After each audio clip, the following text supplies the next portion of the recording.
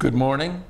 This is John Coates, July 24th, 2000, here in Natick, Massachusetts. This is part of the Morse Institute Library's continuing Veterans Oral History Project. And this morning we are pleased to have with us Richard Smith. Richard, how are you today? Good, thank you, And John. may I call you Dick? Please. I understand your friends do. Please do. Uh, may I begin by asking you how old you are? I'm uh, 78, 78, Mm-hmm. and what is your current address? Wellesley, Wellesley, Massachusetts. Mm-hmm. Uh, marital status? uh, widower. Uh, do you have children? No, we don't, didn't. Where were you born, Dick? Born in Worcester, Massachusetts, just up the road a piece. So and, you're uh, a Bay Stater, Oh, yes.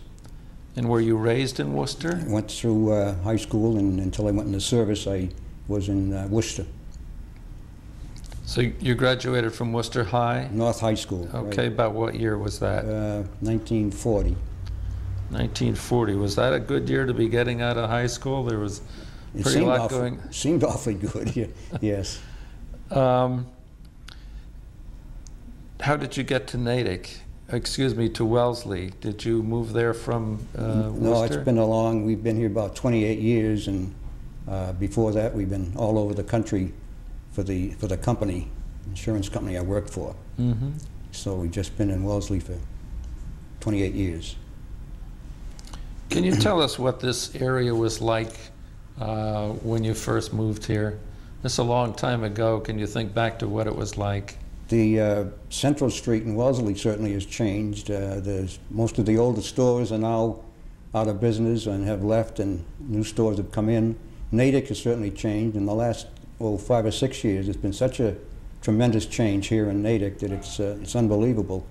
It's really spruced up the center, and it's, uh, it's, it's fun to drive through. If you don't have to make a left turn. Oh, That's right. What was your family background, Dick? Uh, Sort of a mixed background. What'd My- your dad do? My, my dad was, uh, was uh, in accounting for U.S. Steel in Worcester, and uh, he was from Vermont originally. Uh, his father was a Methodist minister who, uh, uh, one of these sort of traveling ministers, so he lived in most rural areas of Vermont in his, in his youth. And how about your mother? My mother was born in Worcester, raised in Worcester, and died in Worcester. She, she was, uh, f- uh, had been in Worcester all of her life. Now, you told us you graduated from Worcester High in 1940, Mhm.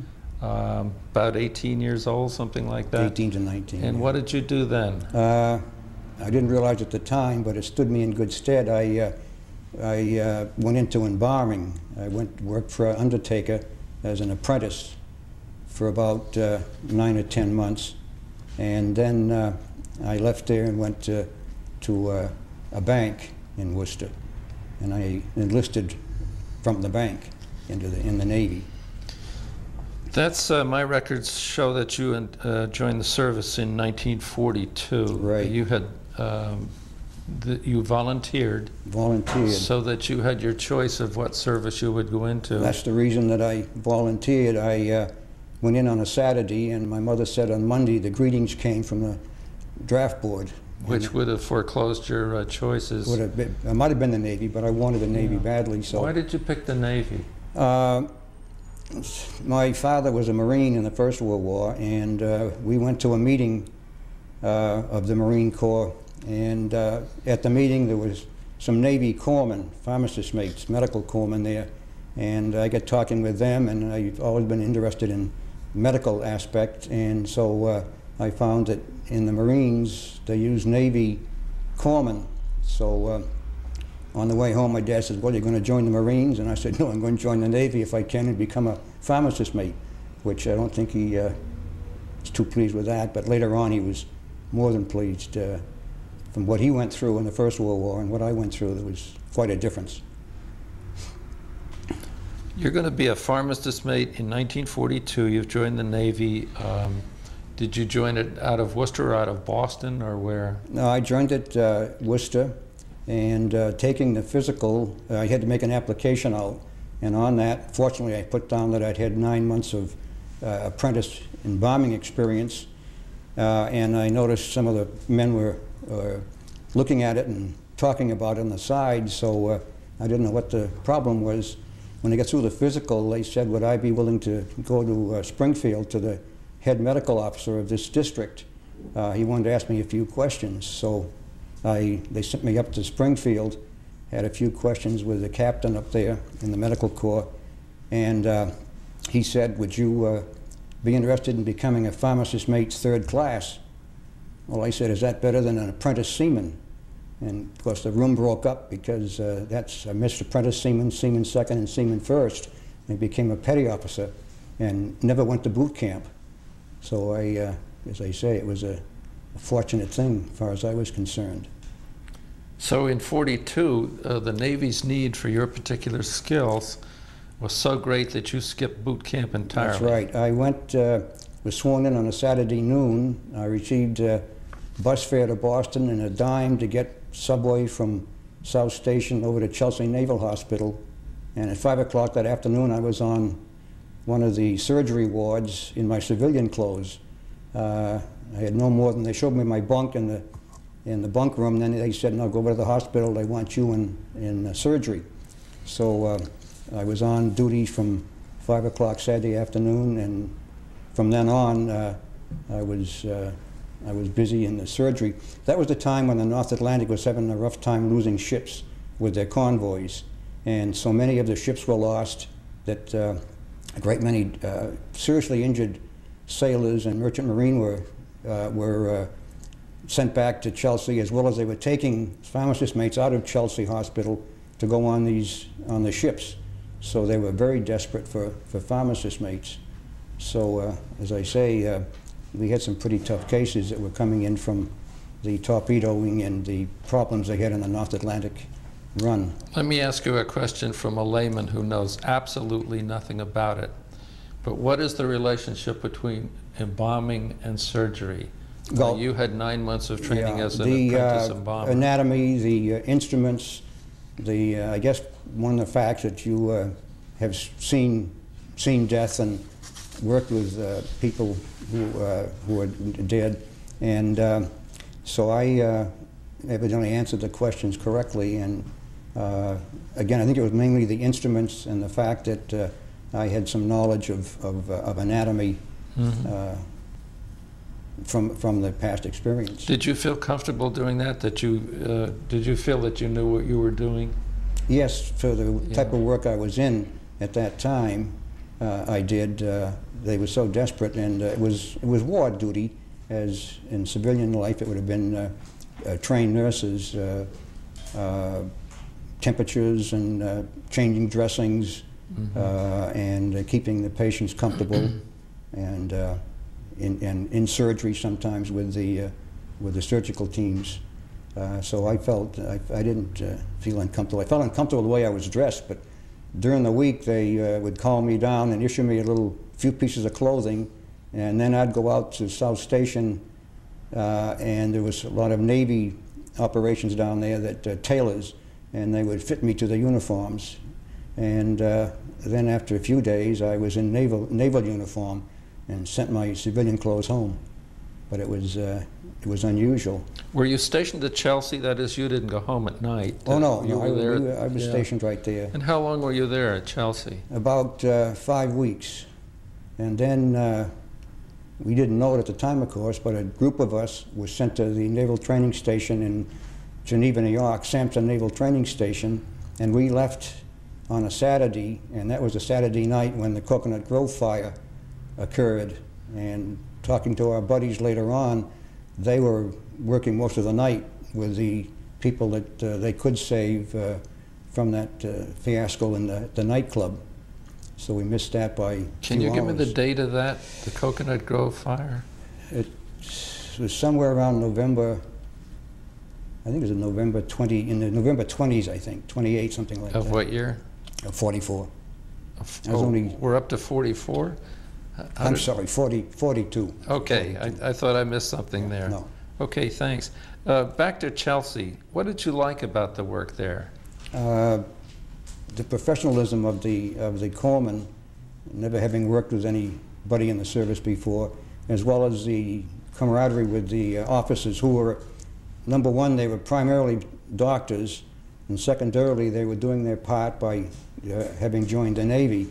And uh, they, to my mind, uh, the officers and enlisted men were uh, much closer than a good many types of work in the in the Navy would have been, and uh, it was very informative. And in fact, some of them uh, would, uh, at my request, would call me during the night, and they were going to have a major they're going to have a major uh, uh, emergency operation, and they'd call me up to the if I wanted to come up to the operating room to to watch the operation, and then we'd go down and have some coffee and sandwiches and discuss what they had done and the out, the outcome and so on. So, it uh, to me it was a real learning experience. When you enlisted back in Worcester, did any of your friends join the service at the same time? Uh, they had been off and on, but some of them waited for the draft, and some had gone in earlier. But at the actual time I went, I don't know of anybody in particular that went in around the same time. Okay, so did. you were at Chelsea pretty much all by yourself. I was a one-man draft. because you had nobody from boot camp that came No, along with you no, either. right. All right, then, then you went over to Geneva, New York, Yeah. and what were you doing there? There we, uh, it was a naval training station where they sent recruits for 13 weeks of basic training. And uh, in those 13 weeks, uh, they get all of the rigors of basic training. And uh, they had different units. And each unit had uh, 15 or 20 barracks with 110 men apiece, a drill field and a mess hall, and uh, a dispensary. And I was in the dispensary with other pharmacist mates and doctors, and we took care of the inoculations, the uh, minor surgery. Uh, we had a little, maybe eight or ten bed ward that we could keep fellows there if uh, they weren't seriously ill. And then uh, they, uh, they would be sent to the base hospital if necessary. So we uh, took care of the sore feet and the, the uh, uh, cuts and bruises and aches and pains of the rigors of basic training. But they never put you out on the field to learn that you had two left feet, is that No, correct? I, I had that when I came in. I still have it. You No, never they- got any of that stuff? No, I, and the more I, I was there about 15 months at uh, Sampson, and the more I saw what went on, I was more and more thankful that I had been able to go in as a pharmacist mate third uh, without having to go through boot camp. You were there 15 months? About 15 months. This brings us up to uh, 43, somewhere in there? Yes, yeah. Okay. And uh, did you ever get home during that time? Oh, yes. I'd get home uh, quite often on a weekend pass. We'd leave at uh, 8 o'clock in the morning, uh, hitch a ride to Syracuse, get a train for Boston, Worcester, and uh, get there about 8 o'clock Saturday night, and leave 8 o'clock Sunday night, and uh, get back to Syracuse, to take a bus to the base, and get back just in time to clean up and go on duty at 7 o'clock in the morning. But uh, I couldn't do it now, but at that time. No, it but at least you got home. I got home. Yeah. When you're at a place 15 months, you begin to make friends because other guys are there a long time. Uh, did you make lasting friendships? Uh, a few uh, in the Navy, or at least uh, it was my observation that there's less uh, groups that go together. There's a lot of one-man drafts and small group drafts. There was one fellow that I met at Sampson who lived in Boston, so we came home together on weekends when we got him off, and I was with him uh, through the invasion, and then he uh, went to a different uh, base than I did after the invasion was over. So to me, there wasn't the same ability of becoming a, a unit that there is in, uh, in the Army and, and in the Marines. You folks had access to radios, newspapers, Stars and Stripes, or whatever the Mhm. Navy equivalent was for that. Uh, you certainly knew what was going on in the in the the war in in the uh, European theater, Right. the Pacific theater. Did you look ahead to think of, uh, you know, you, you knew you weren't going to stay in uh, up in New York State for the rest of your life. Did you have any druthers as to what theater of operation you'd like to go to? No, I, I guess we just worked from day to day and knew it'd be somewhere, and uh, we didn't know when, and we had no control over it. So Yeah. at that age, I guess you just sort of uh, take things as they as they come. The opposite side of that is, is there any place that you sure didn't want to go to? Well, I didn't want to go to the Fleet Marines. Uh, and later on, some of my buddies did from the Pacific, and some of them were killed, and some were uh, had psychological problems, and, and some were badly badly wounded. And again, the medical corps of the Marines is the naval corpsman, so that was always a possibility of any naval corpsman being sent to the to the Marine Corps. Is there a distinction between being a pharmacist um, and a medic? No, it's it, the same. You're the guy they call for when they yell Right. medic, medic. Hey, Doc. We Yeah. call Doc, yeah. Even on the street, it amazed me when I, still in uh, Chelsea and didn't know uh, left from the right, as you say, and anything about the Navy, and I had my uniform at the time with the, the crow, the uh, third-class pharmacist mate uh, patch on my shoulder, and Marines would walk down the street and, and always, always speak, because later on I found that they relied so on, uh, on uh, the medical corps when in battle, and uh, so as I say, There was a great deal of respect uh, Absolutely. by the Marines for the uh, corpsmen. Absolutely.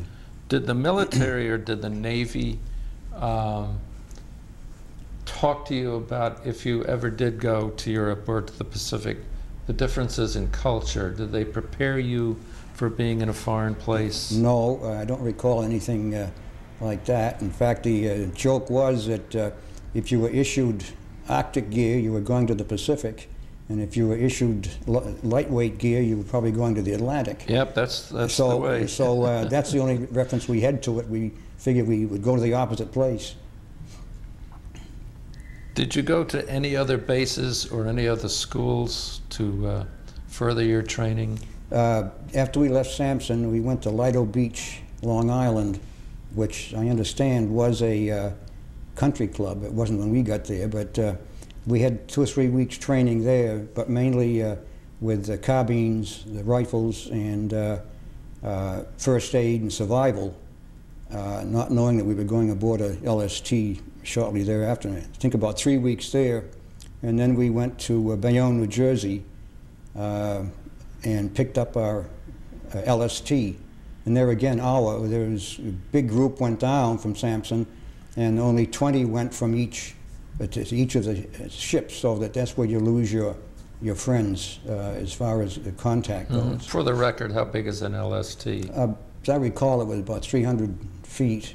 And, How many men would it take? Uh, probably take 150 or so. It's, it's a small, small ship. The bow doors open and the ramp lets down, and they go right on the beach and let the tanks and trucks go out, as well as the uh, infant infantrymen, and then they back off when the tide is right and uh, uh, close up the doors, and it saves having to build docks and going in where there's a, already a, a harbor.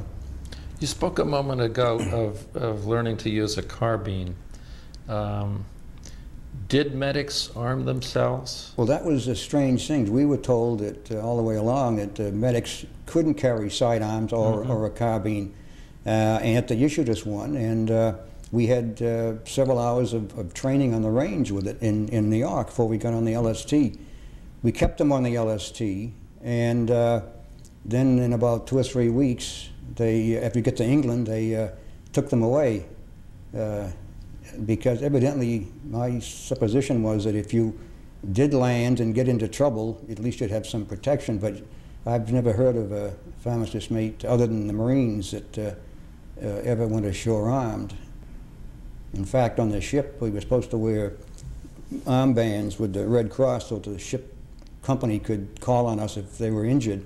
And we refused to wear them, and the captain had no objections to that because that story was that that was uh, the way that the uh, enemy would zero in on a person or a ship, the snipers, because they'd see the Red Cross, and they knew a Red Cross meant help to the wounded, and the more that they got help to, the less they had the enemy had killed. So um, we never, except firing on the range, we never used the, the carbines.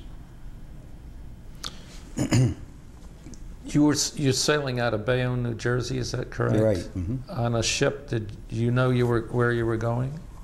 Yes, we knew it was uh, it was going to be England. We didn't know anything about the invasion, of course. And What wa- what about what date was that? that was in uh, probably the end of January of early February of uh, 44. And luck would have it, we uh, came up through the Cape Cod Canal into, into Boston and had four days of which I was able to get home for one or two of them. Good. And uh, we didn't know where we were going, but it was Boston. While they loaded up with supplies and, and uh, uh, fuel and what have you. And then we left Boston, went to Halifax and uh, Nova Scotia. And there we picked up a, we waited two or three days and picked up a large convoy to go, uh, to, go to England. The uh, convoy was made up of uh, tramp steamers and tankers, some still coal-burning uh, ships at that point because they were losing so many of the ships. And uh, we had to go in the convoy as slow as the slowest ship, which unfortunately was about nine knots or 10 or 11 miles an hour. So we were about uh, 18 or 20 days from Halifax over to England. Did you gather in the uh, Bedford Basin up there at Halifax? I don't remember the name of the basin. That's, We- I we- think, where the We convoys were in the gathered. harbor, and uh, a lot of ships came in and were there when we got there, and we all left together with a large escort of uh, corvettes and British and Canadian and American uh, destroyers and corvettes. And this was a very large, uh, large convoy. You're about 20 years old, and Right. I- if I follow you, and you're on a ship and you're up in Halifax, and this great fleet is gathering around. Tell us what that was like. What did it look like? At that, at that age, uh, at least personally, it was uh, a lark or a game. I don't think I ever thought about uh, what was ahead or what, uh, what might happen, but it was just unbelievable, the number of ships and the way they could get them together, and our escorts on the side, the, as I say, the escort ships, the destroyers and corvettes and, uh, and all, and, and we, we, at least I never, and we never talked about the fatalism or the possibility of anything ever happening to us. Uh, between Halifax and England, uh, one of our convoy ships right off our, our starboard side uh, sunk a submarine, and they it shot up like a cigar up through the, the, the bow, and then went down, and uh, they saved one officer and ten men, uh, a German sub. Uh, but again, that was at the time, at least to me, it was uh, like a dream. It wasn't wasn't real, so I had no feeling of, uh, I guess, fear. You want to call it that? In your particular position as a pharmacist, did you look at where you're going in terms of they're not going to shoot at me, or they're going to shoot at other guys, but I'm going to have to go out and help them? What was your point of view? No point of view was that uh, in on a ship, we were all. If they sunk the ship, it, it uh, didn't matter whether you were a pharmacist mate, a, a boatswain mate, or a, or a uh, signalman. You you uh, all were in the pardon the expression in the same boat, and. Uh, Oh, I meant when the boat got there. Well, we didn't, uh, we didn't go off, uh, as I'll explain later, what our right. function was during the invasion. And how long were you at sea?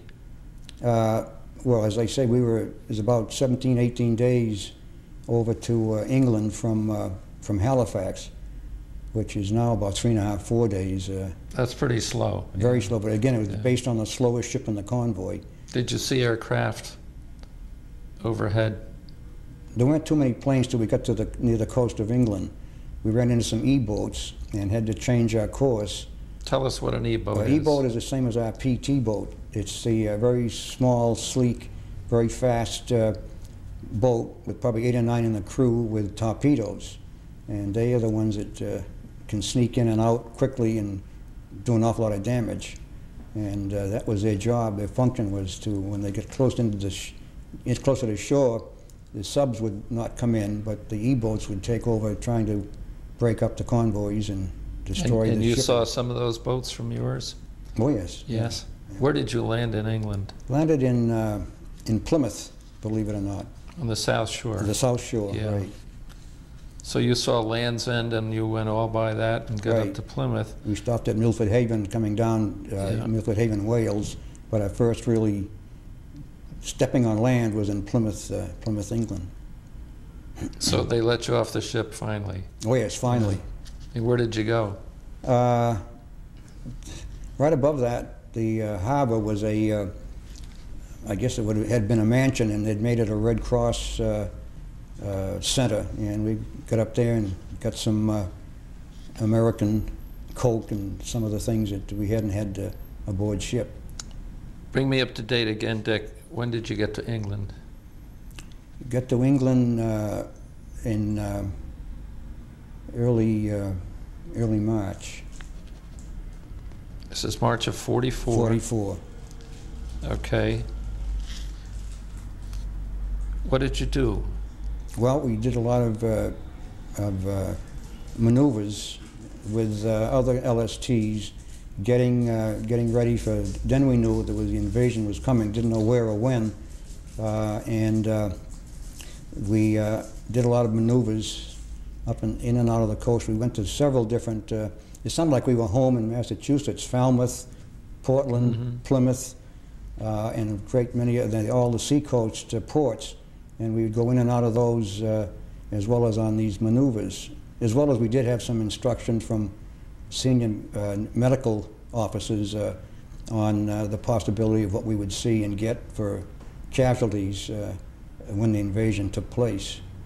It was our function to uh, let off the troops and, and the equipment and then bring the wounded aboard and uh, we uh, worked on them uh, on the uh, mess tables. I have. This I is still the same LST you went overseas on? No, I'm sorry. We changed. Uh, Okay.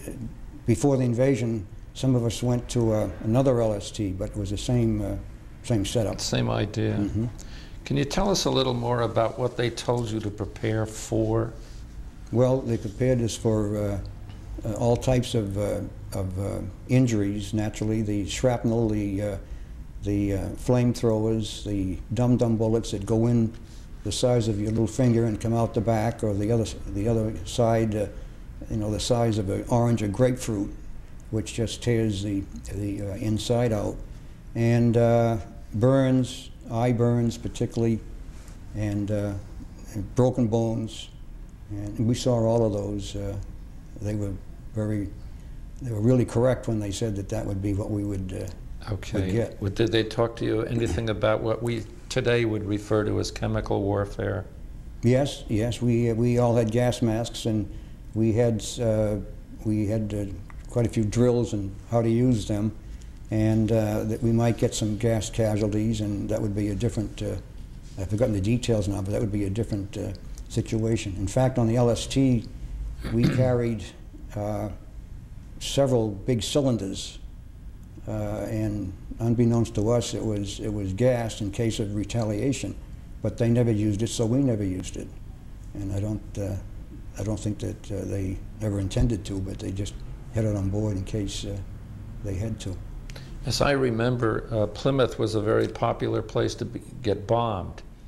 Uh, the, the Germans, Yes. in the sense of aerial warfare, Right. uh, that the Germans bombed it fr- uh, frequently. Can you tell us about that? Yes, I've got uh, some notes. Well, one thing, uh, Saturday night, we would never uh, undress. We'd just take our shoes off and lay in our bunk because we could almost set our watches by 11:30 to quarter of 12 midnight that uh, there'd be a nuisance raid.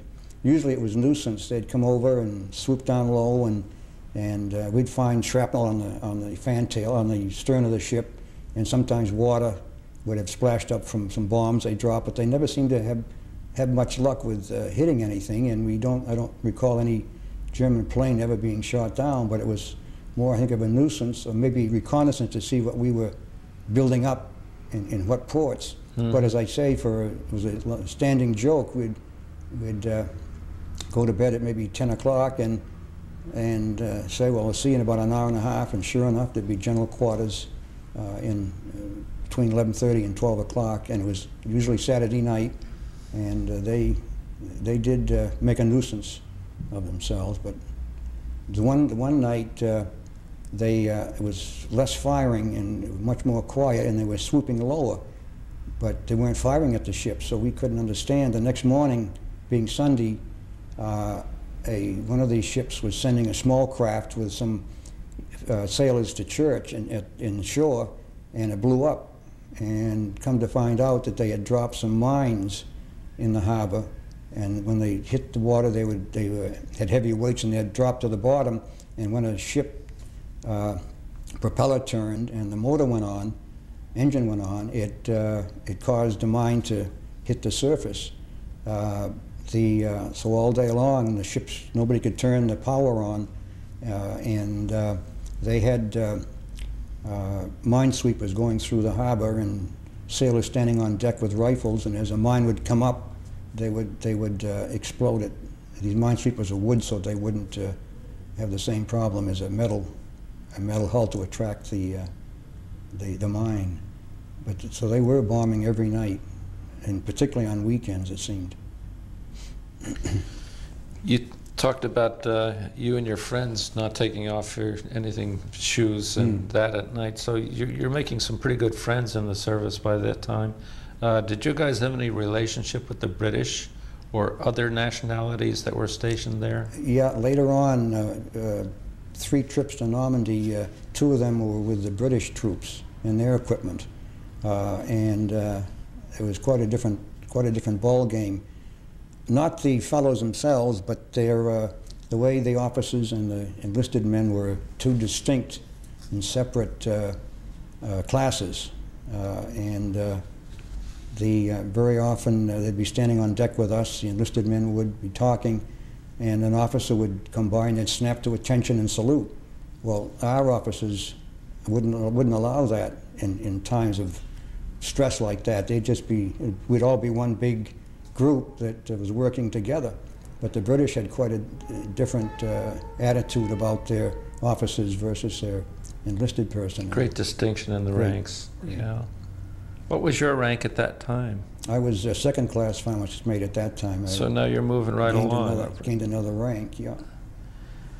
And what other units were around you? How many other ships were collected there at Plymouth? Oh, there, there were, uh, I, I can't, I don't remember, but there were a great number, uh, and uh, mainly uh, LSTs because uh, the invasion of Normandy was going to be hitting the beach with the LSTs letting the bow doors down, and they hadn't, there were no wharves and piers to tie up to to let the equipment off, so there were, uh, I think the, uh, there were, there were 30 or 40 probably uh, at a time. Then there were other ships, supply ships, that were supplying us in the harbor, U.S. Uh, naval ships. And then, of course, all the uh, destroyers and uh, uh, other ships that were in the, ran the convoys to keep us uh, safe from the E-boats and the uh, subs. Now, you, when you landed in England, you were about 90 days away from D-Day. Right. Um, as you got closer to that date, did you feel a sense of urgency in your training, or did it uh, did the tenor of it change so that you knew the clock was running out? Well, we knew the clock was running out several several different ways because uh, uh, near the time, within a couple of weeks, no one was allowed off the ship. Even the uh, young enlisted man that went in to pick up the mail had to have an officer accompany him because once we'd been told where it was going to be, the invasion of Normandy, no one was allowed off the ship. So Now, wait a minute, say that again. You you were told where it was going to well, be? Well, I mean, it was going to be it's going to be invasion of Normandy, and uh, the Normandy beach was, you know, you knew that ahead of Yes. time? Yeah. But, but nobody else, I mean, uh, we had to, mum was, mum was the word, we had to stay aboard ship and, uh, Mhm. and uh, everybody that had to go ashore was accompanied by uh, an officer and, uh, and there was sworn to secrets. Were you in a position to see that the uh, the fleet around you was growing, or that the guys were uh, coming from other bases on land and filling up ships? Could you see literally the the buckets getting filled down Our there in own ship, the same, we, uh, Yeah. we picked up uh, uh, groups uh, who were, we would run for some uh, maneuvers, and then uh, also before D-Day, we uh, picked up the group we were taking over to Normandy, and that was uh, was always stuck in my mind as a real difficult uh, time for some of the fellows. Uh, naturally, they were Army personnel, and uh, they uh, the ship was crowded with. Uh, trucks with high explosive shells and tanks and reconnaissance uh, trucks. And uh, the troops had to stay on deck and, and uh, sort of shift for themselves. So we'd get talking with them. And after a while, um, one of the officers pulled some of us aside and said, Don't argue with these fellows. He said, Just uh, pass the time of day, but don't get into too deep a discussion they have just come from Italy and Africa, and they were told they were on the way back to the States, but they cut them off here and uh, are sending them back to, uh, to Normandy. And there's some of Patton's troops, and they weren't the, the happiest, naturally the happiest lot of, of young fellows. Africa was in November of 42. Where were these guys in the, in Well, the they must have been, they must have been uh, uh, Italy and Africa. They were, or they were the troops that had been there, and Yeah. I don't know where they'd been in between. Yeah. But they were, they were hardened, hardened veterans. Dick, before we uh, started this tape, you told me of an incident that took place in training uh, where evidently it had been, I think your phrase was hushed up. Mhm. Can you tell us about that now? Uh, we went out on maneuvers one night, uh, and uh, we were the lead uh, LST. And I think there were about 20 LSTs in the group.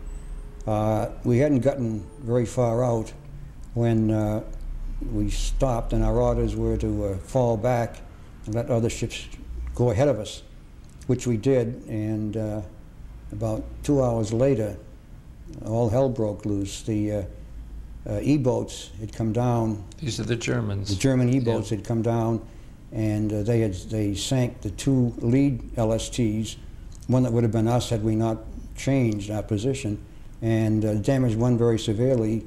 And there were a huge number of uh, soldiers. All the ships were ready. It was the maneuver they were going to land and on this British beach as a practice landing, and uh, a lot of them were lost, as well as uh, almost 200 uh, sailors. Uh, so it was a real, it was a real fiasco. Uh, come to find out, some of the, some of the escorts weren't able to make the, the trip with us, and uh, the E-boats had pretty slim, pretty easy pickings.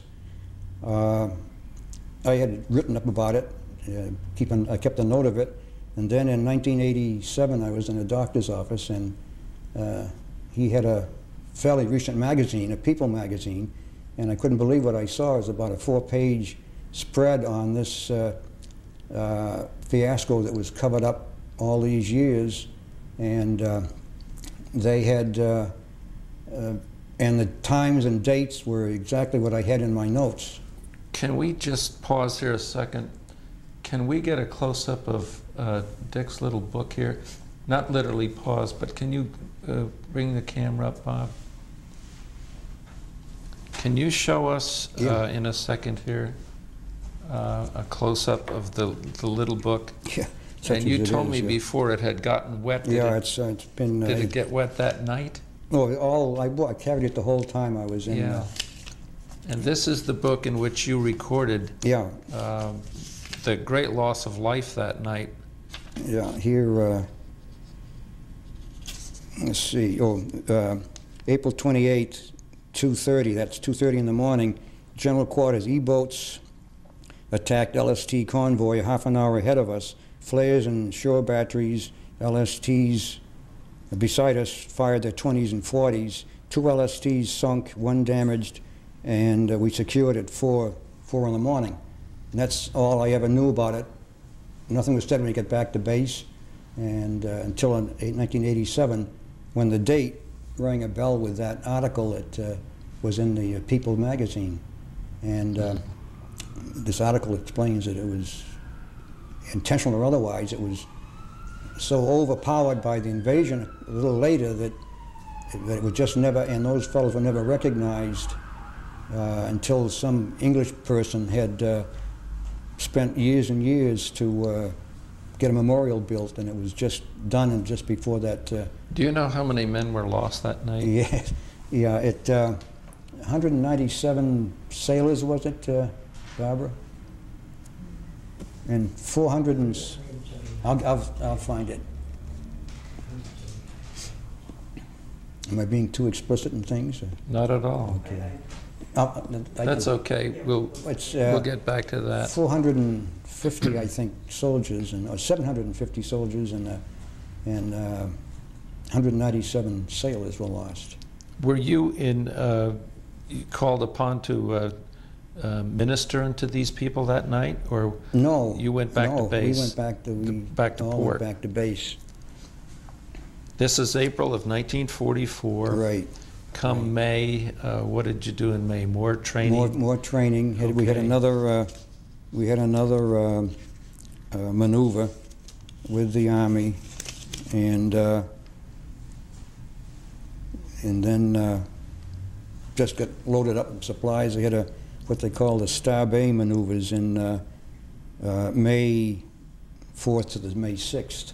Uh, And it was just getting them prepared and us prepared how to, how to beach and how to handle the, uh, the uh, logistics of getting the, the troops off. Okay, let's jump up to about the 3rd or 4th of May in 1944. Uh, Are you still in Plymouth? Well, we've been, we've been in Plymouth, Portland, uh, as I say, I even got the, the date, but we've got, we were in, uh, came into Plymouth, we were in uh, uh, Falmouth, Portland, back to Portland, Portland again, and up the Thames to London to pick up some British troops on our second trip over. Uh, and then Portsmouth, uh, and Portsmouth, Southampton, all those southern southern ports. We, we hit them all at different times. Tell me now about uh, sailing over to the invasion of uh, the coast of Normandy. Uh, We left we left about uh, mid-evening in uh, on the 5th of June. In fact, we tried the night before, but it was too rough. It was a very bad storm. Did you, were you part of the group that started out and were called back? Yes. Yeah, we How far, how close did you get to the coast of France? just outside the harbor and uh, maybe an hour or so out, maybe 10 or 15 miles at, at the most, and the seas were just too rough. Uh, so they called us back, and uh, we did it the next night. And that night, Okay, you're on an LST, you're, what, 20 years old? By that time, 21, I guess. 21 years 21, old. 22. and you're heading into the greatest battle in, in the history of the world, in one of the greatest collection of ships in the history of the world. Tell us what it was like. Well, I was one of the fortunate ones, I think, of my Coleman group because uh, I was assigned, uh, my general quarters battle station was in the wheelhouse. Uh, and my duties were first aid for the wheelhouse, and on top of the wheelhouse was a con tower, conning tower, where the, the officers were stationed out in the open uh, to, to steer and to handle the ship from there. Uh, and then behind us was a radio shack, so that I was privy to all of the radio communication between the officers on the bridge and the wheelhouse and the radio shack that was dealing with other ships and, and convoys.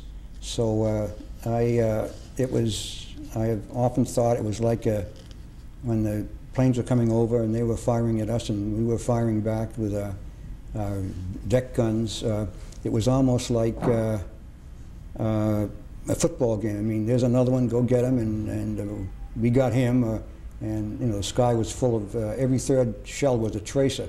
So you see these red shells, projectiles everywhere, and between those red projectiles, there were two, two live ones. And uh, but I, I guess maybe it was just my personality, but I just uh, I never thought about tomorrow. I just it was a moment at hand. I wasn't uh, overly concerned uh, with. I guess because I had so much faith in the ship and the the crew and. Uh, and Were, were you carrying troops that were to be deposited on a beach? Can you tell us what beach was your objective? Yeah, we, uh, we were uh, at uh, the left-hand side of Omaha, uh, So between the towns of Bayeux, my French, I don't know French, Bayeux and Caen, C, uh, C-A, uh, uh, C-O-A-N, and there were two, uh, two of the towns just up on the, up on the bluffs. And Were you headed toward Utah Beach? It was near Utah, uh, Yeah. between Utah and Omaha, yeah. But we couldn't go in the first trip because uh, they had those uh, railroad ties sunk as, uh, as obstacles, and they were mined. And some of the small ships that went in, the uh, Higgins boats that they made so much publicity about recently, how what a godsend they were, uh, and they were, they would go in with about 25 or 30 of the troops, and if they get hit broadside, one of those, um, they blow up the, the ship, the boat, because of the, uh, they had booby trapped those uh, Mhm. ties. Uh, when they opened the bow doors on the beach, uh, there were gunners and sh- guns just the pillboxes and just waiting for the uh, bow doors to open, and the first, any number of fellows would be, uh, would be killed instantly. What time of day this was this? We went in, uh, we went in uh, late afternoon of the 6th. As we stayed out, but the, our uh, troops, uh, troops went in. And uh, we, were, we were within a three mile uh, point of the beach because we couldn't get in the LSTs because of these, as I say, these mined obstacles. And How, how did the troops get off your boat and get to the beach? They, uh, Ship? they, they had these big uh, rope ladders on the cargo nets on the side, and they'd climb down those into into L, L, LCVPs, the landing craft personnel, Yeah. uh, the Higgins boats, and then they'd go in. They'd go in from there, and those Higgins boats had just two uh, two personnel on them, uh, and uh, no armament. At the most, might be a, a very small machine gun, mounted machine gun, but they were just uh, sitting ducks. They had no uh, no defense, and as I say, they uh, the equipment they had to back up some rhinos, which were flat bottom steel plated equipment that was put together and had two had small motors on the back and it was like a, uh, a, a floating pier.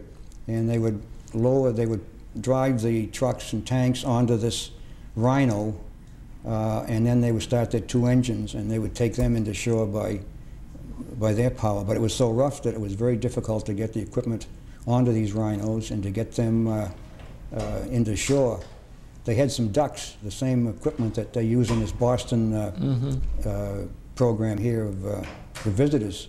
And uh, the first, our first one that went off swamped, and they had to pull the two two men out of it. Uh, it was just unbelievably rough. Even though we were within three miles, and inside of the battleships and the cruisers and the uh, heavy guns that were firing over our heads onto the onto the beach, but it was just a, a real bad storm. Very often, one of the things that's left out when people describe that morning um, is the noise. Oh, What did it sound like to be there off Utah Beach on the 6th of June? Just it's it's it's un, it's unbelievable, indescribable. The uh, the uh, uh, ships firing, and then the uh, big ships, the battleships and cruisers, as they say, out behind us, uh, and then the planes strafing, and our planes uh, trying to keep them, the German planes, out of the out of the picture, and. Uh, and on, we you would hear some from the beach, but uh, not nearly as much as we were getting from from our own uh, firing around our own ships and the planes in the air that were bombing and and firing you know, their machine guns. The eerie, one eerie thing that still sticks in my mind is when a battleship would uh, would fire one of their huge guns. Uh, if you happened to be looking at the battleship, you'd see a puff of smoke, and then just a minute, a second or so later, you'd feel a, you'd hear a swish and feel your pant legs flapping, and then a few seconds later, you'd see an explosion on the beach. It was that projectile going over that uh, it, uh, as I say, it still uh, sticks in my mind as uh, one of the unusual, I guess it's physics, phenomenons of uh, The shockwave. shock waves, yeah. Were you close enough to see the men on the beach?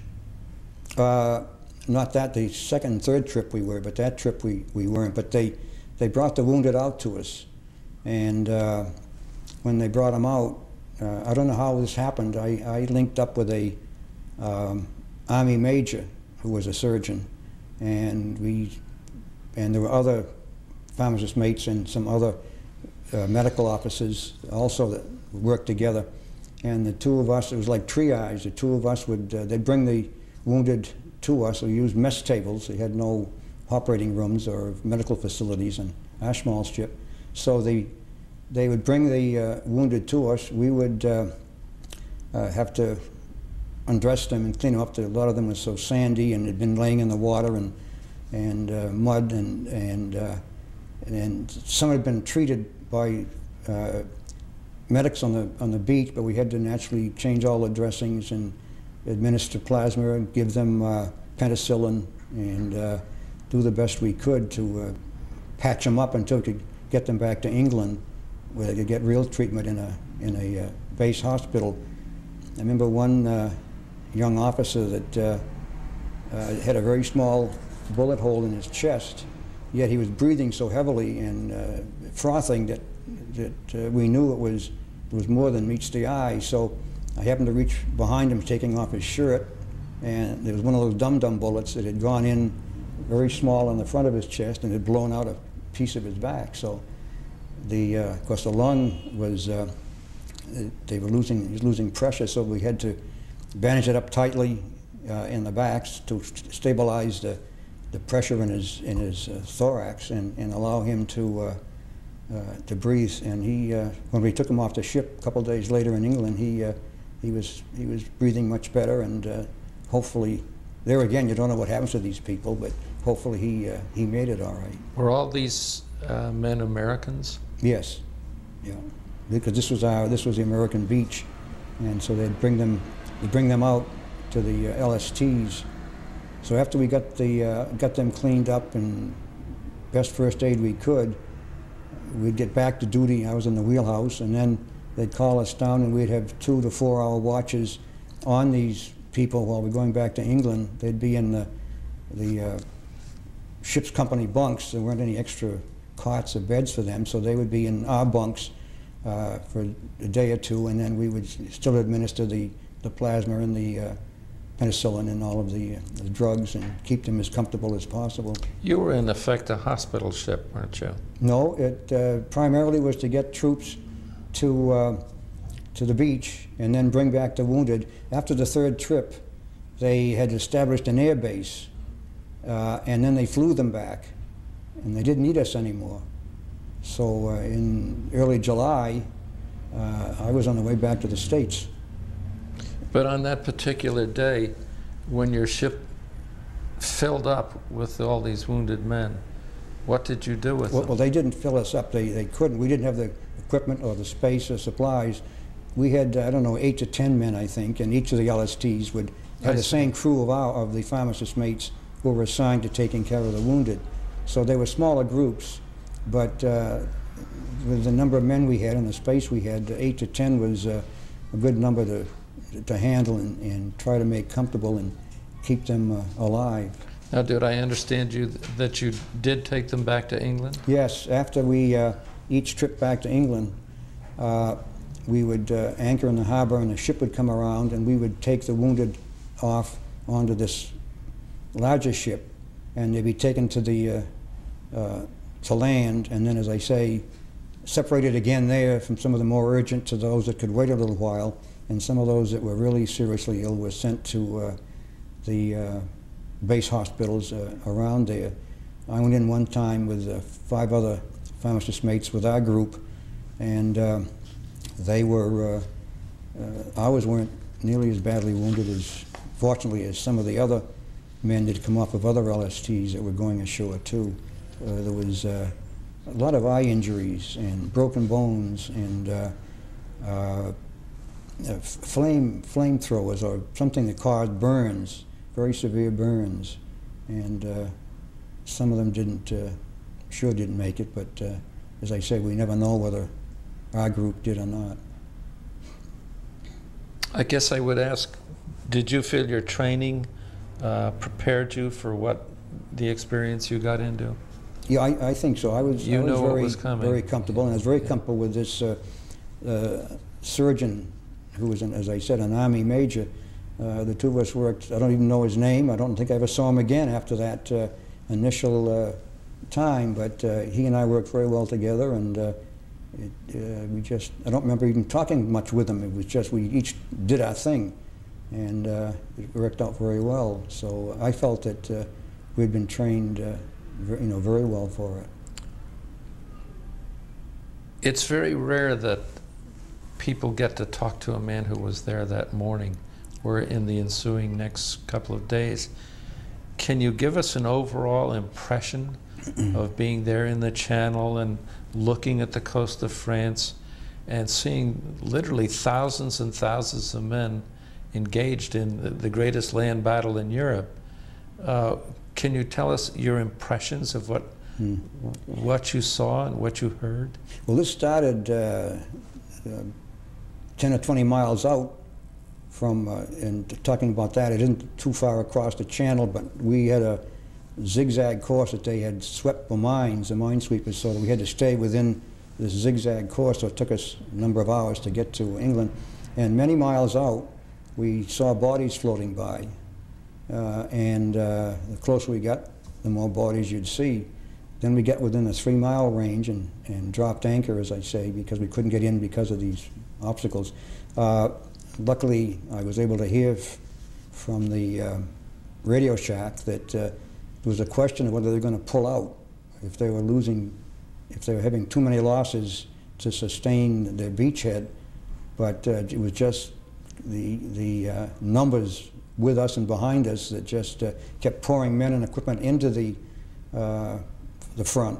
And they did establish a beachhead, and between the coordination of the large ships shelling and the planes overhead, we, I never saw so many airplanes in my life, uh, almost uh, like an umbrella, all the way from England over. Some were going over and load, uh, dumping their loads of bombs and, and strafing the, the enemy and coming back to refuel and get more, and it's just a constant back and forth. So uh, it was uh, surrealistic. It just it, it didn't seem that it was happening. Did you ever have an occasion or an opportunity to talk to guys who were just, say, a mile down the coast further away? They were at uh, Omaha Beach Mhm. instead of where you were, Mhm. and I'm not demeaning your experience whatsoever, but they they really got it down there. They, they, Uh, they got it. uh, did they- you ever talk to anybody about No, the differences uh, in where you were? I don't. I don't think I. Uh, I have uh, known anybody that was at Omaha. But what you read and what uh, you could observe, that uh, I mean, they were getting.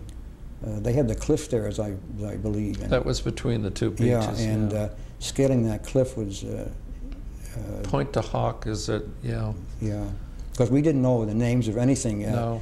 Uh, the reason I knew more than some was, I say, because I was in the communications center, fortunately, in, in my battle station, so that I heard some of the radio contact and the captain's discussion with the uh, other ships and uh, headquarters and so on. Did you know historically you were looking over at a place called Utah Beach? No, no.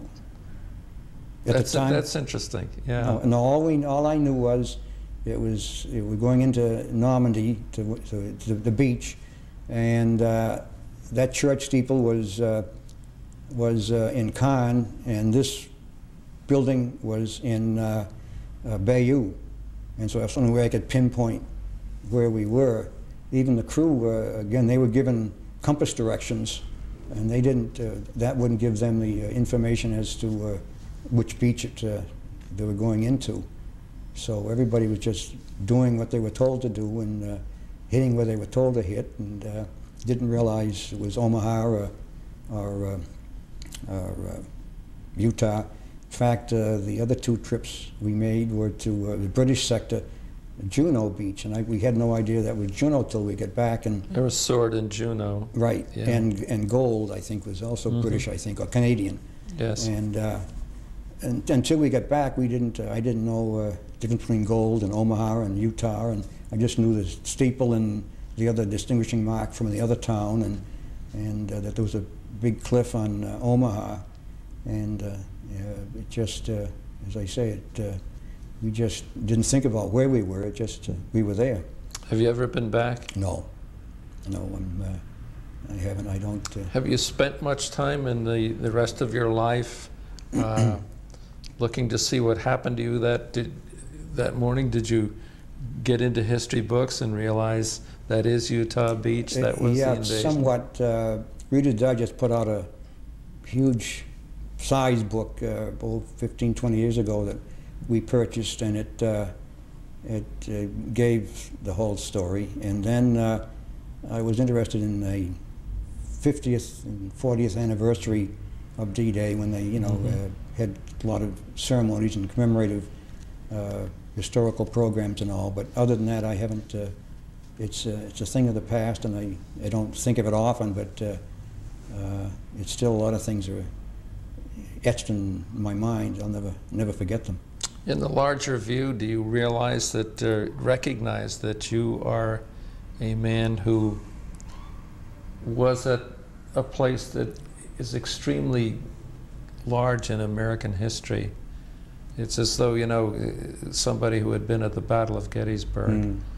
Do you feel any sense of that No, kinship? I, I uh, uh, someone said, "What'd you do in the war, Daddy?" You know, and I just say, uh, uh, "Atlantic and Pacific," and uh, I uh, was in the invasion of Normandy. And oh, you know, but I don't, I don't think of it in that sense that uh, they all did their job, whether it was one of the islands in the Pacific or uh, Italy or Africa or wherever they were stationed.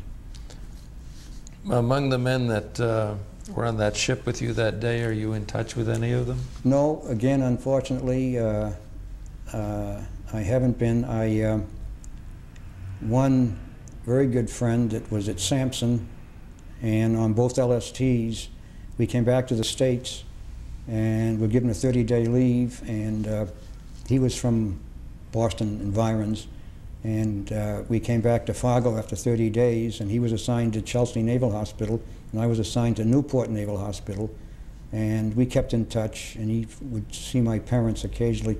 Then in six weeks, I was transferred out to the West Coast. Okay, let's stop there a second. Mm. Uh, you told me a minute ago that um, after three trips from the Normandy coast back to England, you went back to England, and in July, I think you said, Yes. you went home yeah, we uh, back to made, the States. we made our third trip, and when we came back, and of course the Navy never tells you anything other than pack up and be out, be standing here for muster Right. at a certain time. Yeah.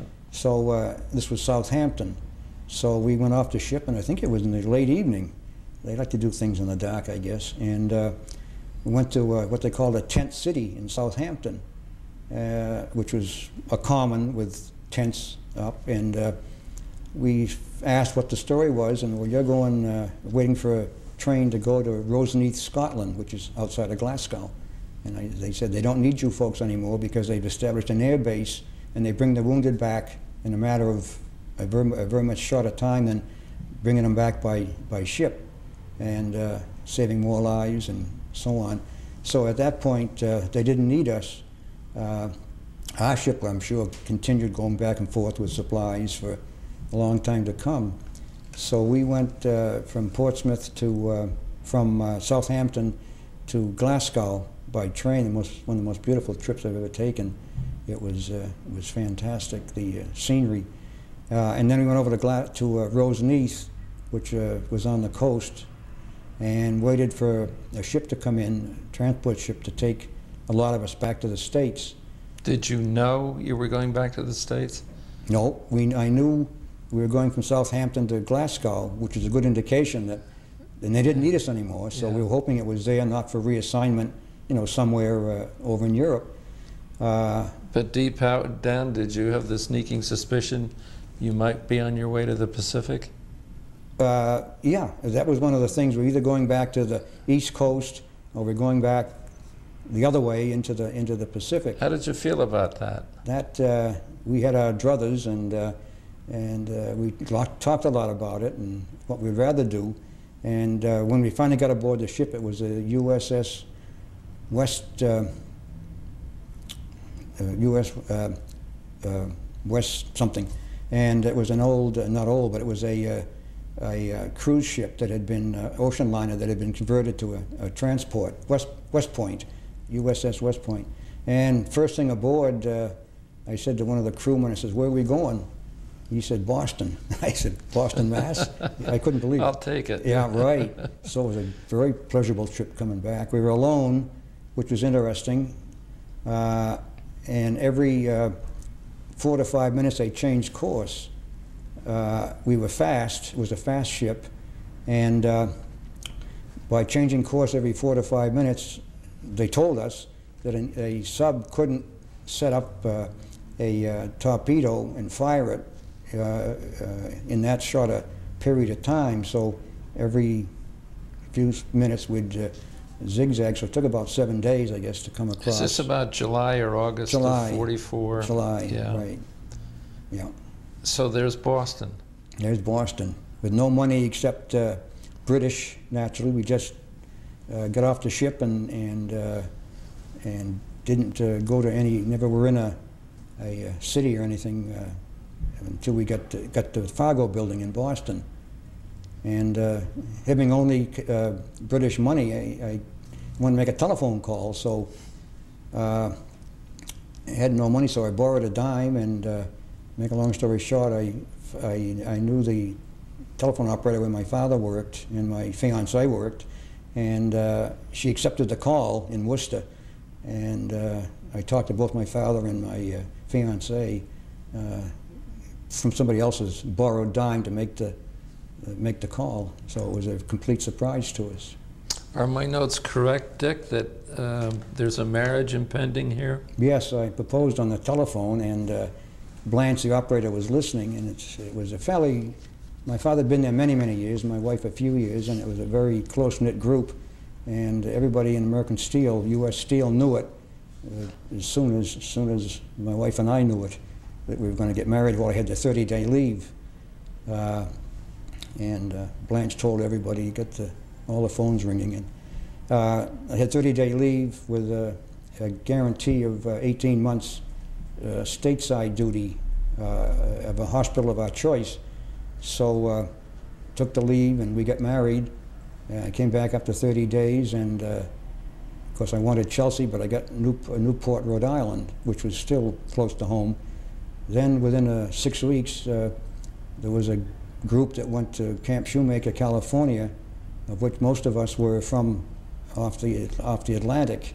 Uh, I guess our papers were on top of the pile in the Navy Department, and they pulled us, and so I only had five weeks in, uh, in uh, the East Coast at that time. Then I went out to um, uh, uh, Camp Shoemaker. I still don't know where it is. It's in the valley somewhere out in, uh, in California. Can't help you there. Went to Oakland, no, went to Oakland, and then by stake truck, standing in the back of a stake truck with a gear, uh, I don't know, we drove a couple of hours, I guess, to this godforsaken uh, hole in the desert, and that was uh, Camp Shoemaker. Uh, and I still, as I say, I don't know where it is today. What were your duties there? Just waiting for FFT, further transfer.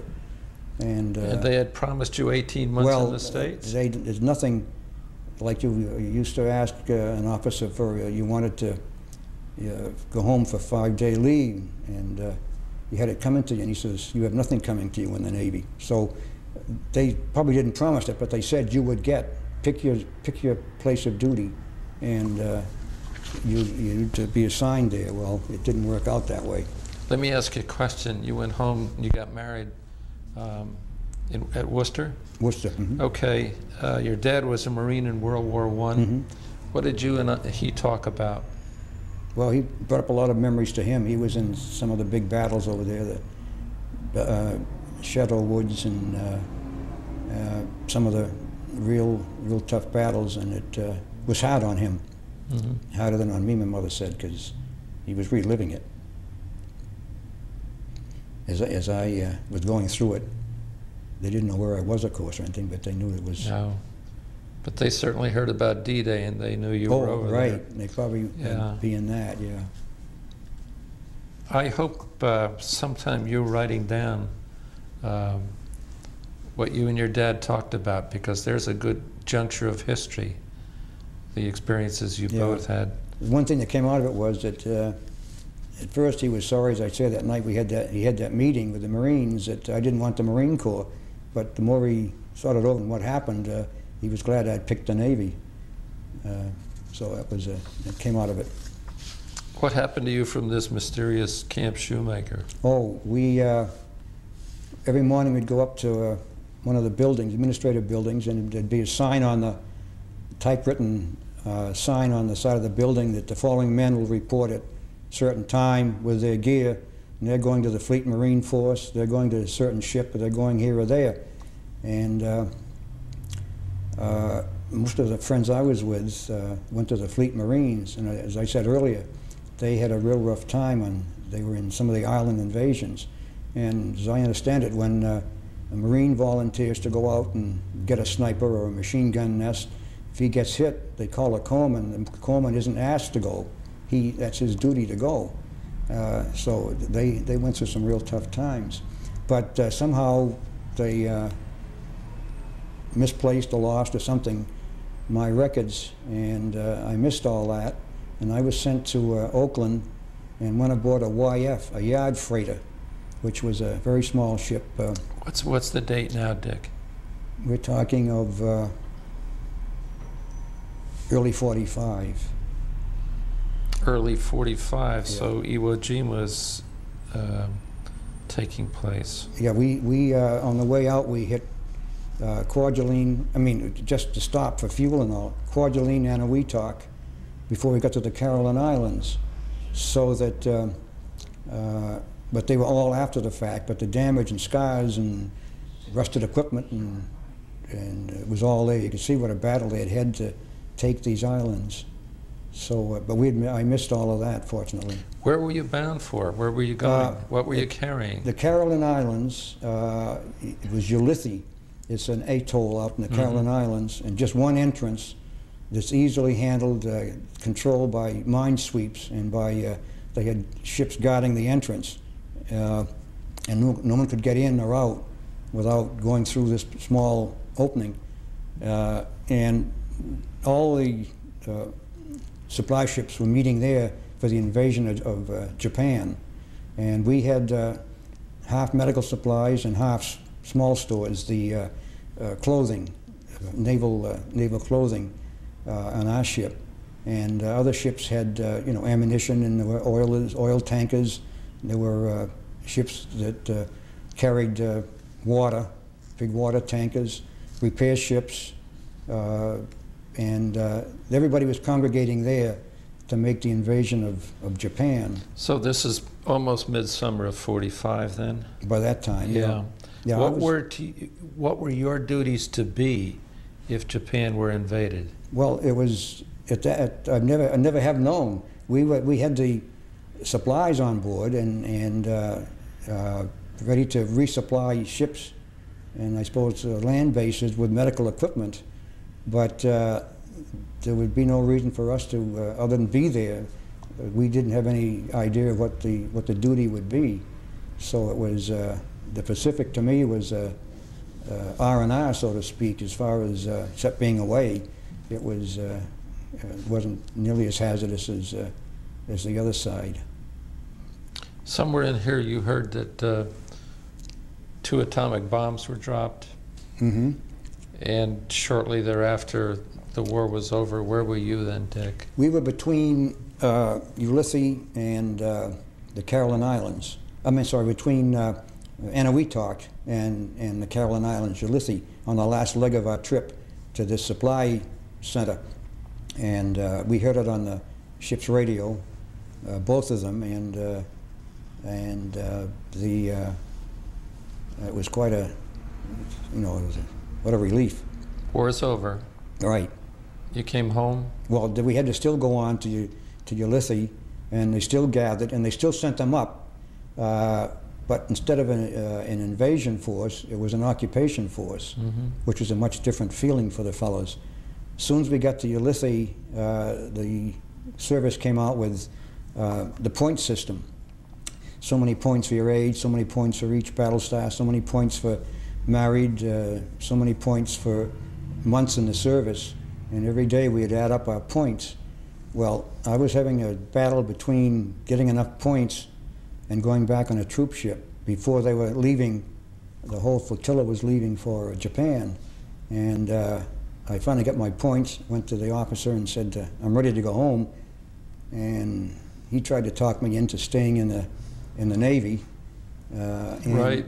and also, the Merchant Marine had come up with an idea that pharmacist mates could uh, go into the Merchant Marine as, I think it was third officers. They would be the, it was a small ship that wouldn't take uh, a full medical staff, but to be somebody aboard who had medical knowledge, and you'd be third officer in the Merchant Marine. And uh, I, uh, I said, thanks, but uh, no thanks. This is for a guy who never went through boot camp. Yeah, that's right. That was a pretty good deal. Right, right. How did you get home? You sail Uh, home or fly home? No, the, uh, the, we were ready to leave, and the day before we left, the troop ship came in, and I got aboard that, and I waved to the, uh, our fellows as they were getting ready to form the convoy to go up to Japan, so I lucked out by a matter of hours. Uh, we came back to uh, San Francisco, and uh, uh, from then train across the country to Fargo Building. Again, Again, uh, started there in, in the, from the Atlantic, and then we were discharged from the Fargo Building. And uh, it was uh, November 26th, 1945, for me. November 26, 1945. You've had quite an experience. Um, is there any particular experience that you would think of that is more outstanding than all the other adventures you had in those years? No, there were there were several times that uh, I never thought about uh, being a fatalist or anything, but uh, I became one uh, in the after the service. Not to the point that, I mean, I'm sure you can you can uh, help yourself get into trouble, but uh, when your time is up, I'm, as far as I'm concerned, uh, your your time is up. We had one case where a torpedo we saw the torpedo coming. This is back in Normandy between England and France. And uh, the lookout on the bridge came running in and said, There's a torpedo. We could see it coming toward us. And it went under us. We only drew nine feet of water because it was a very shallow ship because we went up on the beach and they had set the torpedo too, too low. So it went under, under us and we watched it go out the other side. And that was one close call. Then, uh, and one of the other trips to Normandy and back. The minesweepers swept the corridor we used, but evidently a mine had uh, come loose, and we, we saw the mine in front of us. We couldn't turn, and we, we heard it hit about midships underneath, and then we saw it bounce off the, the, off the stern. Well, it must have been, it must have been a dud. I mean, uh, otherwise, how would you account for it? So things like that. Uh, make you, and also not being in that uh, lead con, the ship in that uh, uh, exercise back in England before when they lost those two LSTs. We would have been one of those two LSTs had we not go back. And we went back, we found out because we had the flag with us.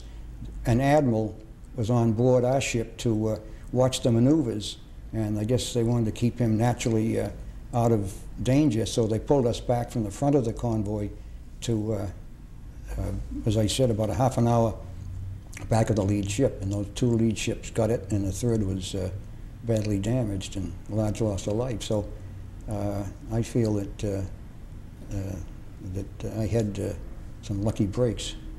Your number just wasn't up. That's right. It wasn't my time. God help me for asking this question, but was uh, there any humorous experience that you can think of?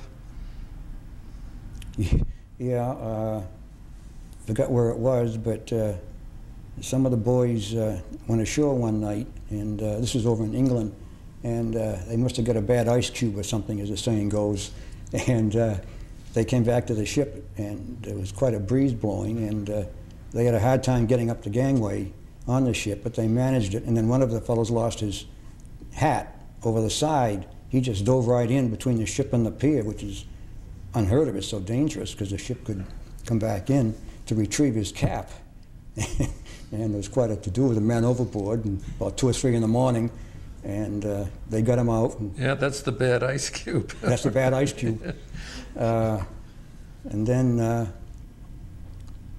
there was one that uh, the uh, everybody was at their battle stations, and some of the men uh, were in the gun tubs. Uh, we had 20 millimeter and 40 millimeter uh, guns, and uh, they would have to ask permission to go down below to the head. We were there for hours at a time, and sometimes a day at a time or two, and. Uh, they, each of the gun tubs had a crew of three or four.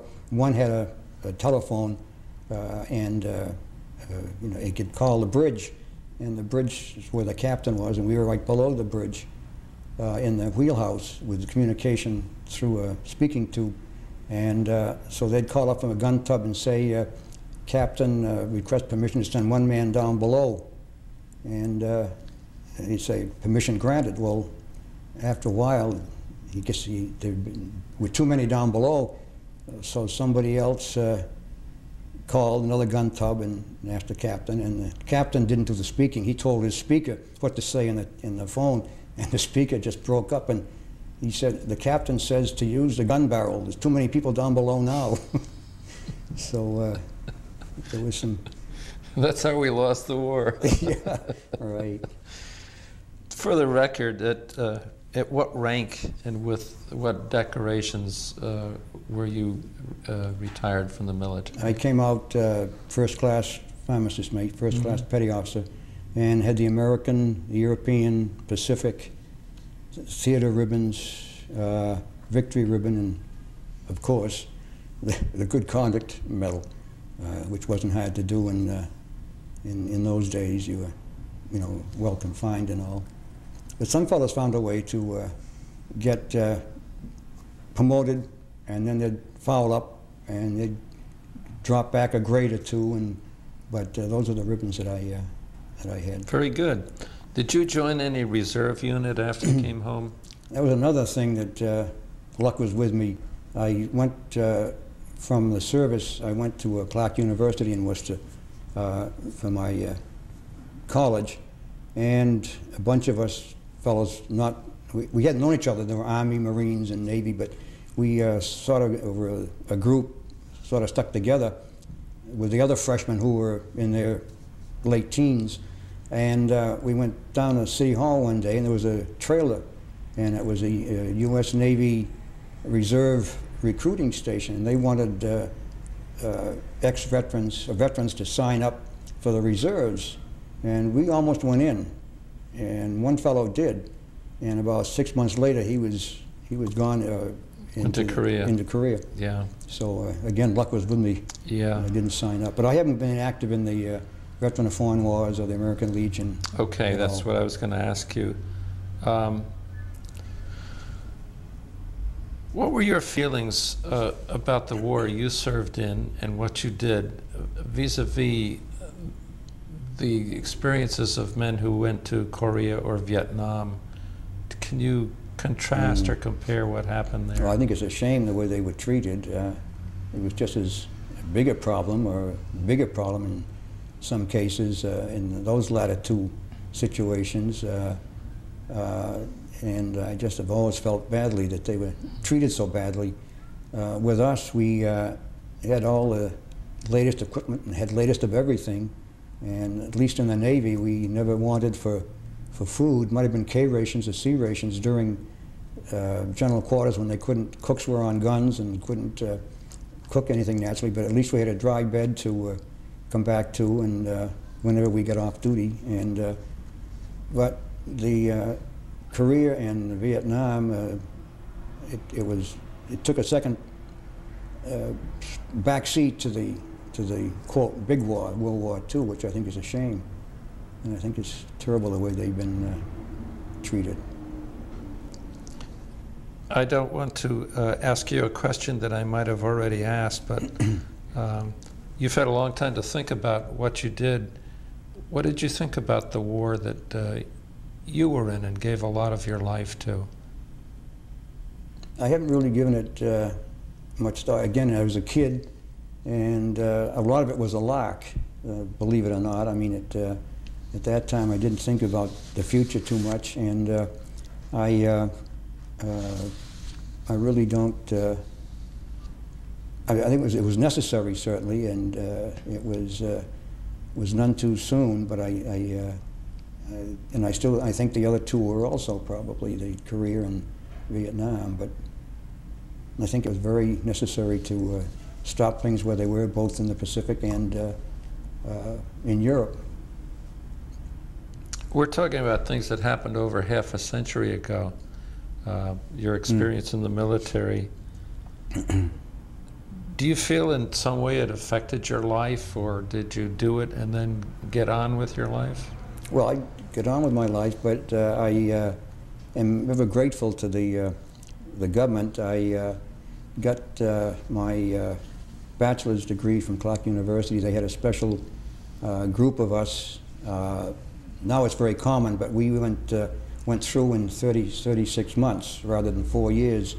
They, we had two summer sessions as well as the fall and spring uh, semesters, and uh, I started in 46 and got out in 49. Uh, and uh, this was the first time they'd tried that. And I got that, and then later on, when I was working in Boston, I went six years nights and got my master's at BU.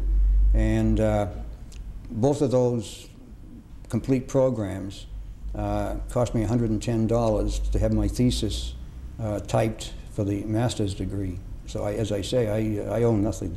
They owe nothing to me uh, for. Uh, So you took full advantage of the GI Absolutely. educational bill. Yeah.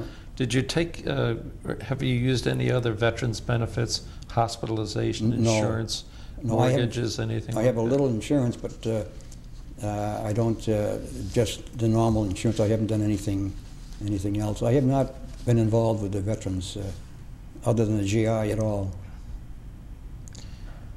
We're almost at the end of this tape, Dick. Um,